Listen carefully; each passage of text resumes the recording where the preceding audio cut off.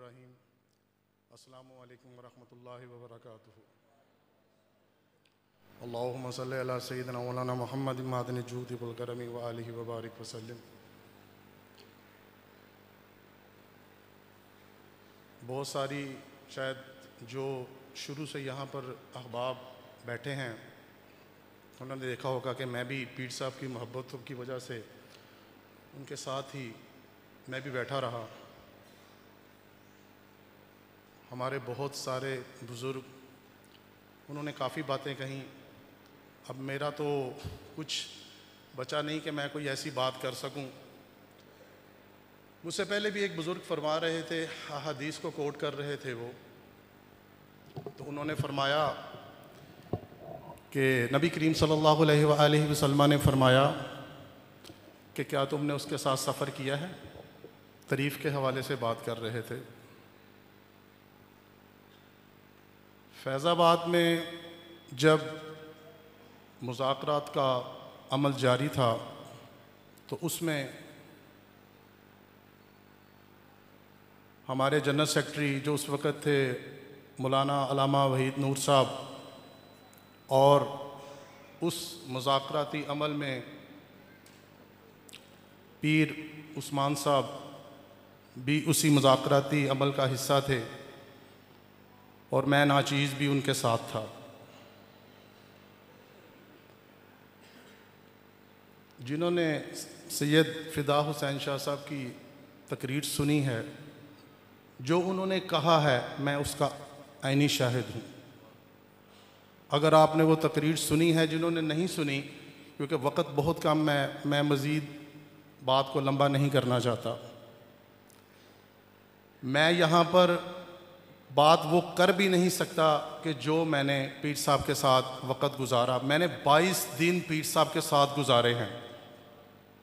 22 दिन पीर साहब के साथ गुजारे हैं। यहाँ पर जितने भी अल्फाज बयान किए गए हैं पीर साहब के हवाला से, मैं समझता हूँ पीर साहब उससे आगे थे। मैं इसलिए ये बात कर रहा हूँ कि मैं ऐनी शाहिद हूँ उन चीज़ों का और मैं कुछ चीज़ें यहाँ पर बयान नहीं कर सकता। क्योंकि वो बहुत प्राइवेसी हैं। अगर उनको ऊपर भी बात की जाए तो यहाँ पर, जो आप समझते हैं, कुछ माहौल बना हुआ है, जो बाहर हमारे मुल्क का पर्चे हो जाते हैं तो वो बात सुनाने पर भी ऐसे मामला बन सकते हैं कि पीर साहब इससे भी आगे थे। अगर मैं अपनी बात को मज़ीद मुख्तसर करूँ तो उसमें यह है कि पीर साहब तहरीक लब्बैक का जी एच क्यू थे।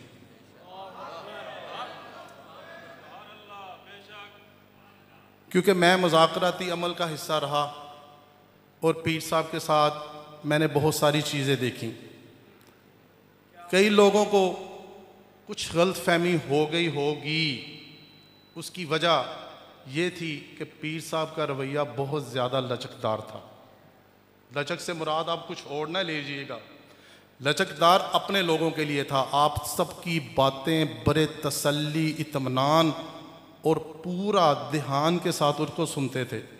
और जहाँ पर वो समझते थे कि ये वाला आदमी या ये शख्स, ये ये मेरा साथी, ऐसी बात कह रहा है जिसके फ़वाद तहरीक के लिए और नमूस रसालत के लिए ज़्यादा हैं तो फरमाते ये लड़का ठीक कह रहा है, इसकी बात पर अमल किया जाए।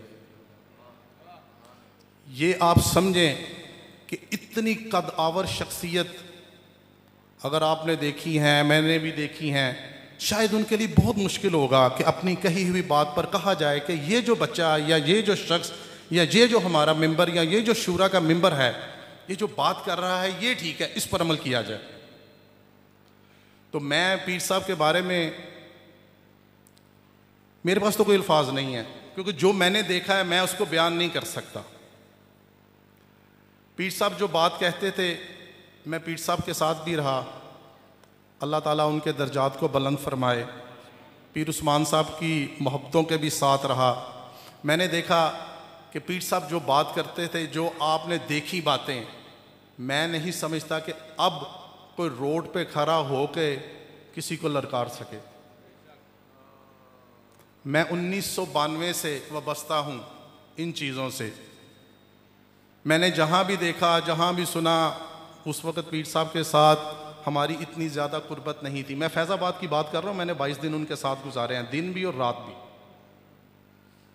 और वहाँ पर सिर्फ़ तीन या चार लोग थे। एक मैं था, एक पीर साहब थे, एक पीर साहब का खादिम था, खालिद, और दूसरे हमारे जनरल सेक्रेटरी अलामा वहीद नूर साहब। ये बाईस दिन मैंने और हमने इकट्ठे गुजारे हैं अदरीस साहब के घर पे। वहाँ पर हमारी मीटिंग हुआ करती थी। तो मैंने मुख्तसर बात आपको ये कर दी है कि हर कोई जब किसी के साथ मुजाकरात करने जाए तो आप देखते हैं कि अगर सामने डीसी हो तो उस लेवल का जमात से आदमी जाता है कि उस लेवल का या इलाके का आप अमीर भेज दें या कोई भेज दें, इस तरह का है। मैंने जी एच क्यू का लफज इसलिए इस्तेमाल किया है कि शायद आप मेरी बात समझ जाएँ। मैं भी तहरीकों में रहा हूँ, सारे मामला किए हैं, सारी चीज़ें की हैं, लेकिन आप यकीन जानिए कि पीर साहब जिस चीज़ पर जब खड़े हो जाते थे ना तो फिर उस पर हटते नहीं थे। जजाकमल्ला खैर बहुत शुक्रिया।